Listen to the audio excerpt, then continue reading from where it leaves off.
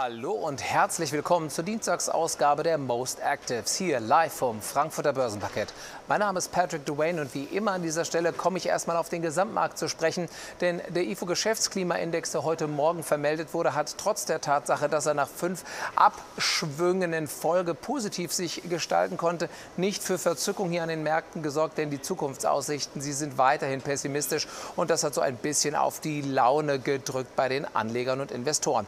Deshalb pendeln handeln wir so um das Schlusstagesniveau 12.350, ein minimaler Aufstieg, Aufschlag von 0,1 Prozent. Aktuell ist das Resultat. Aber die gute Nachricht vorweg, wir haben die 12.300 Punkte Marke zumindest für den Moment verteidigt. Gucken wir damit wie immer auf die meistgekauften Titel des Online-Brokers Flatex an dieser Stelle. Und heute haben wir folgende Top 5 für Sie.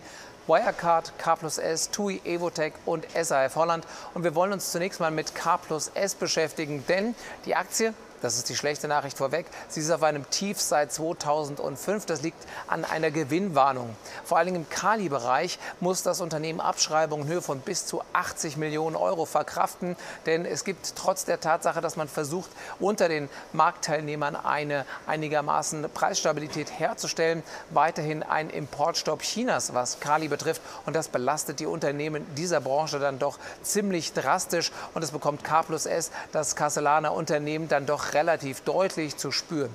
Ähm, Abschläge bis zu 5% waren die Folge und die Aktie kann sich tatsächlich aus ihrem Seitwärtsband um die 15 bis 19 Euro jetzt eher mal in Richtung Süden bewegen. Dementsprechend sei der ein oder andere da eine Kaufgelegenheit bei, den, bei der Aktie.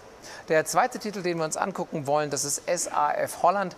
Vor sechs Wochen, da kamen nämlich ähm, die Zahlen und die waren eigentlich inklusive des Ausblickes recht positiv und deswegen ist es umso überraschender, dass das Unternehmen jetzt sechs Wochen danach eine Gewinnwarnung ausgegeben hat. Die Aktie mit über minus 22 Prozent auf dem absteigenden Ast und das liegt vor allen Dingen daran, dass vor allen Dingen beim Umsatz man jetzt nur noch 1,26 bis 1,3 Milliarden Euro erwartet. Vorher da waren es deutlich mehr und auch die EBIT-Marge ist statt 7 bis 8 Prozent jetzt nur noch bei 6 bis 6,5 Prozent erwartet. Dementsprechend die Anleger auf dem völlig falschen Fuß erwischt und die Aktie heute in Richtung Süden unterwegs. Kommen wir auf die andere Seite, auf die die meistverkauften Titel des Online-Brokers Flatex. Und da haben wir folgende fünf für Sie heute vorbereitet. Evotech, Wirecard, TAC Immobilien, Lufthansa und AMD. Und wir gucken uns heute mal die Evotech an, denn die hat tatsächlich geliefert und zwar mit einer neuen Kooperation mit dem japanischen Pharmaunternehmen Takeda. Langfristig soll diese Kooperation sein und sie soll zudem Meilensteinzahlungen beinhalten, von denen Evotech, die ja wirklich führend sind in diesem Bereich, weiter profitieren können. Die Aktie jetzt deutlich über der 20, sogar teilweise über der 21 Euro Marke zu finden und für den einen oder anderen, der schon Kurse dieses Jahr gesehen hat von jenseits der 25 Euro, ist es ein bisschen Balsam auf die geschundene Seele und die Hoffnung, dass es vielleicht jetzt wieder nach Norden weitergehen könnte. Das war es hier von mir, von der Dienstagsausgabe der Most Actors vom Frankfurter Börsenpaket. Ich hoffe, Sie haben guten, eine gute Zeit. Gute Kurse wünsche ich Ihnen zudem und schalten Sie auch morgen wieder ein. Ihr Patrick Duane.